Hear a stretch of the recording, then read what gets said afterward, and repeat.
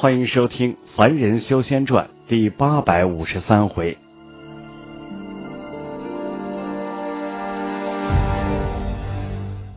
众人只听到飓风之中一阵轰鸣，狂风和雷火就同归于尽一般，一下子同时消失不见了。那少年和许姓女修都不禁面色大变，而闭眼大汉等人呢，也是暗自一惊。下方的巨兽再次显露而出，只是这一次呀，这个怪兽的身上竟多出了一个怪人出来。只见这个怪人浑身肌肤淡绿，除了下身套一件不知名的兽皮之外，再无一丝衣物，头上更是一根毛发没有，口鼻皆在，但是双目丝毫感情没有，让人一眼看过去啊，心中不禁是寒气直冒。更诡异的是，怪人双臂抱肩，在下半身从大腿之下全然的没入到了巨兽的身体当中，仿佛和此兽原本就是一体的一般。是蛮兽人，快杀了他，不要让他施展出人兽合一的神通！一见怪人的模样，马道士如堵蛇蝎一般的，立刻失声的大叫了一嗓子呀！一听“蛮兽人”等字眼儿，闭眼大汉等都露出了骇然之色。他们不加思索的把各种在外界罕见的古堡全亮了出来。顿时啊，各色光团同时寄了出去，灵光闪动之下，一下子就将下方的怪人和巨兽全都笼罩在了宝物的威能之下。看来韩立的这些手下对这些名叫……蛮兽人的一族真的是忌惮异常啊！但让闭眼大汉等人纳闷的是，韩立竟没有出手的意思。在揭破了蛮兽人的幻化之后，他只是双手倒背的漂浮在一旁，一切完全交给他们的架势。闭眼大汉等人心中郁闷，但是下方怪人的反击让他们根本没有机会询问韩立什么。只见怪人口中一声怪笑，肩头一晃，那股黄色飓风就再次浮现而出，一卷之下迎上而去。同时，下边的怪兽也蓦然通体发出了翠绿的翼芒，竟又从身体下伸出了数十根一般无二的肉须来。这些肉须略一挥动之下，化为了绿灿灿的光影，配合飓风也攻向了空中。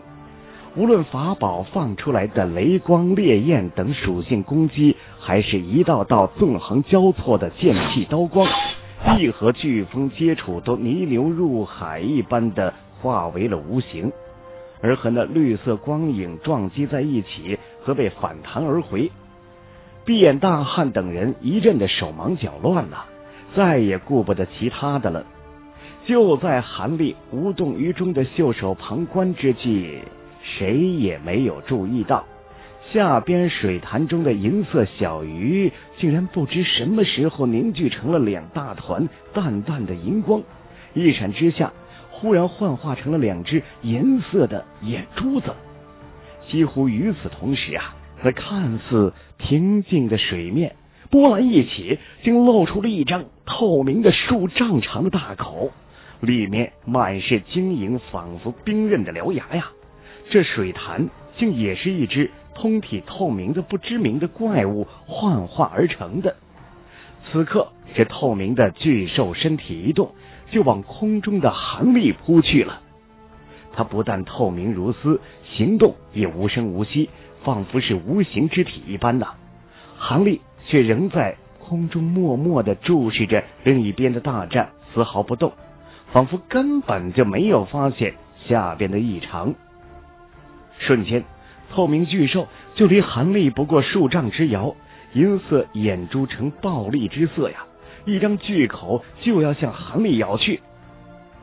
韩立背后辉光一闪，原磁神光诡异的扫出，化为无数道根细长的光丝，笔直的交射而下。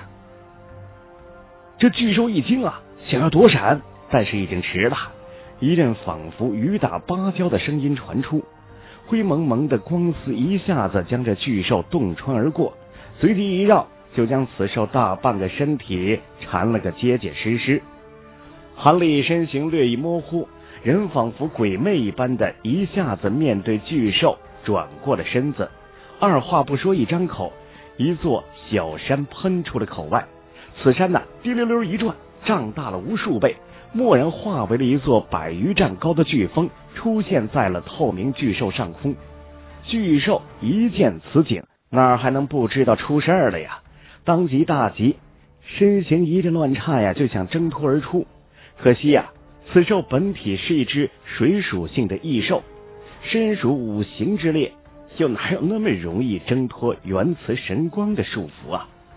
只见灰丝光阵是一阵急闪呐，反而将此兽束缚的更紧了几分。而韩立已经口中念念有词了，发出了一阵嗡鸣过后，飓风往下一落。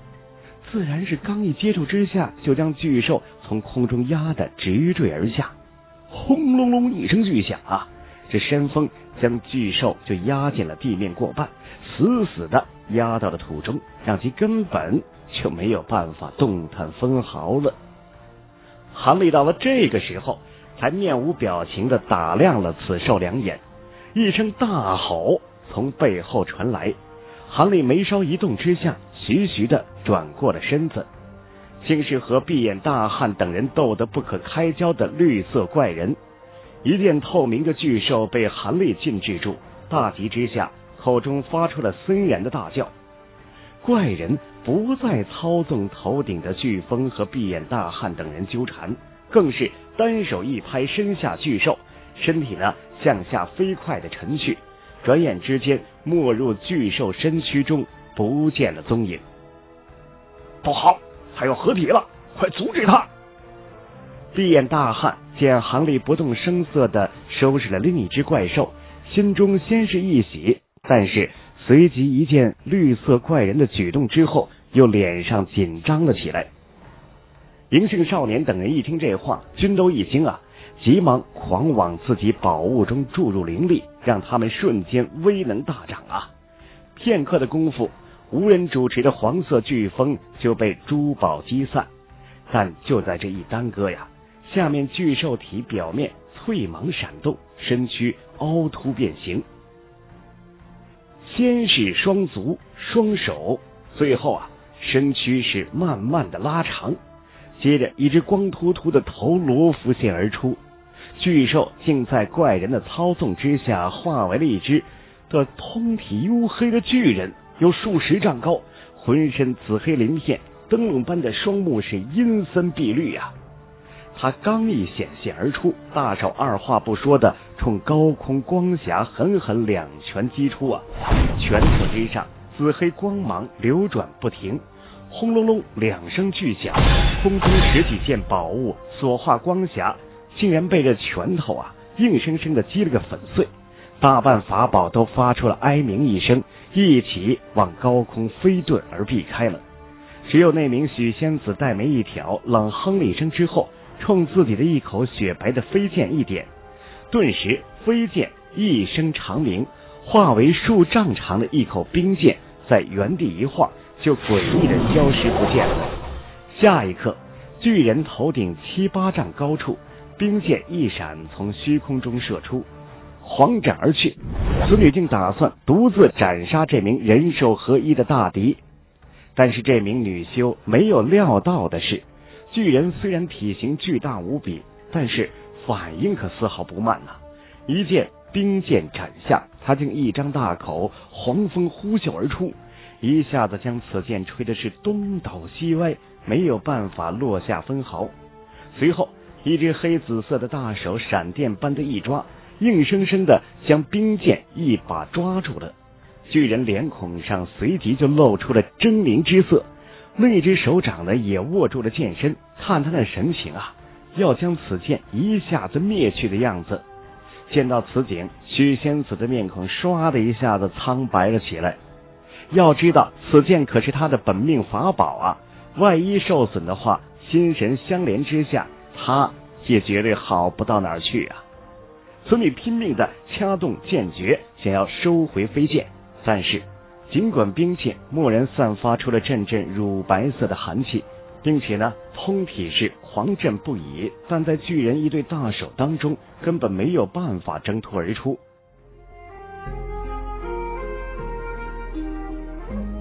畅听网，有时候聆听也是一种力量。你的畅听别样精彩，三 w 点听八五点 com。眼见巨人深吸一口气，两臂就要一用力。附近空间却波动一起，在巨人身前近在咫尺的地方，一道碗口粗的黑光一闪三出，击在了巨人的胸膛上。说也奇怪呀，相比巨人的身躯，显得纤细至极的黑光，竟将其打得一个踉跄，连退数步不已啊！而在黑色光柱刚喷完的一瞬间，一只银色火鸟竟也从一处射出。拳头大小，双翅一展，毫不客气的扑向了巨人。说也奇怪，看似威猛无比的巨人，一见银色火鸟，碧绿瞳孔骤然一缩，脸上竟现出了惧怕的表情。刚一站稳的身形啊，就毫不犹豫的掉头就向后狂奔而走。但是巨人刚一跑出两步，附近的地下突然噗噗之声而起。十一根红丝是激射而出啊！围绕着巨人两只巨足猛然一缠，红光大放，化为了粗大的火索，将巨人双足一下子绑在了一起，让其呀根本就没有办法向前。巨人惊怒之下，两只大手向下一抓，就想将这火索呀撕裂开来。也就是在这个时候，身后的银色火鸟却根本不给其机会呀！闪电般的一窜之下，就化为了一团银色的火焰，扑到了巨人的背上。一声闷响，银色的火焰仿佛被丢到了油锅中一般，迅速的蔓延开来，火光冲天而起啊！巨人再也顾不得抓什么火索了，凄厉的惨叫之声接连出口，随即身体四周突然浮现而出，一股黄色飓风往银色火焰上一卷而去。想要就此全都灭掉，但是让人心惊的一幕出现了：黄色飓风一和银焰接触，不但没有将这火卷入其中，反而也被点燃了起来。只是几个呼吸的功夫，就将这只山岳般高大的巨人彻底的淹没进了火光当中。火光中的惨叫之声戛然而止。巨人庞大的身躯晃了几晃，终于一头栽倒在地。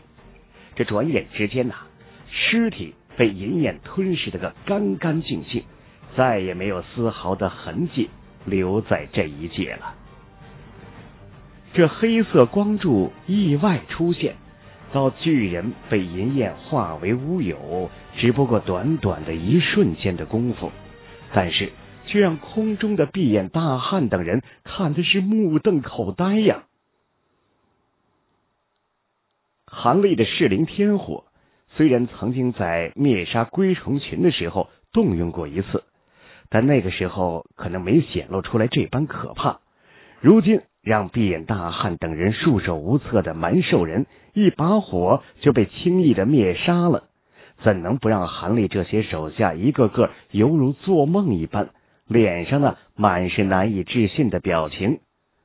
这个时候，韩立身形一晃，人就蓦然出现在了银焰上空，随意的信手向下一招，先是银色火焰骤然之间一卷，凝聚一团，再次化为了一只火鸟飞扑而回。随即呢，那十余根火索也一晃化为了红丝，被韩立袍袖一抖，收进了其中。你们将那只蛮兽收起，等回到城中再交给义灵堂发落。韩立扫了一眼仍被其积压在那原慈山下的另一头巨兽，淡淡的吩咐了一句：“呃，是，晚辈马上就去。”闭眼大汉心中一凛呐，口中急忙答应了一声，单手一翻转，手中蓦然多出了一个白色的葫芦，一晃飞射了过去。此葫芦表面呀，铭印着大量的银刻纹，也是一种临时收押异族的特制的法宝。无论是何种异族，有多大的神通，只要不是真灵级别的存在，都可以吸入其中的。当然了，这是在异族全都失去了抵抗之力，一动不动，根本没有办法抵抗的情况之下。闭眼大汉一到元慈山附近落下，将手中的葫芦冲下方的怪兽轻轻一晃，顿时从葫芦中喷出了一片银色光霞。围着山下巨兽一阵盘旋飞舞，突然化为了几个巨大的银纹，一闪即逝的没入到了巨兽的身体当中。透明巨兽立刻通体放出了一层银光，紧接着体型骤然之间狂缩，片刻之后就只有拳头大小了。诡异的是，元慈山也随着巨兽缩小，同样的变小了起来，根本不让此兽有丝毫逃脱的机会。这个时候，葫芦又喷出了一股灵霞出来，将缩小后的巨兽包裹其中。与此同时啊，韩立呢远远的一点指，黑色小山徐徐升起，巨兽呢马上化为了一团白光，被吸入到了葫芦当中。闭眼大汉慌忙将葫芦盖上，同时一道金色的符箓贴在了其上，他这才大出了一口气啊。其他人呢，也收回了法宝，落到了地上。但是面对韩立的时候，脸上均都是恭敬异常啊。见识过韩立刚才的一番出手，任谁也都知道，这位新任的队长可以说是深不可测，绝不是寻常的什么化神初期的修士。这让他们大喜的同时，对韩立也不觉真正的敬畏了起来。再休息一会儿，继续上路。韩立将元慈山收入袖中，却只对众人说了这么一句，随即自顾自的走到了一旁，盘膝坐下，闭上了双目。其他人呢，自然不会有反对意见，纷纷的散开，再次休息起来，开始恢复先前消耗的法力。但是那名许仙子啊，却站在原地未动。他犹豫了一下。忽然向韩立走了过来，他深施一礼，口中轻声说道：“多谢前辈刚才出手相救，否则晚辈的冰晶剑就要真的被毁去了。”嗯，冰晶剑，你的飞剑是用万年前的玄玉炼制而成的吧？啊？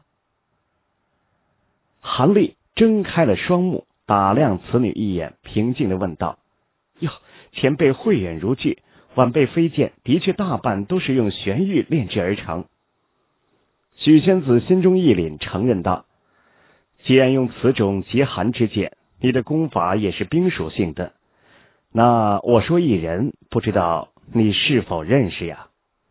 韩立目光闪动了几下，缓缓的说道：“前辈，请说。”许仙子愣了愣，但马上回应道：“嗯。”有一位名叫冰魄仙子的上古修士，修炼的也是极寒功法，并且是一名飞升修士。不知道道友可知道此人呢？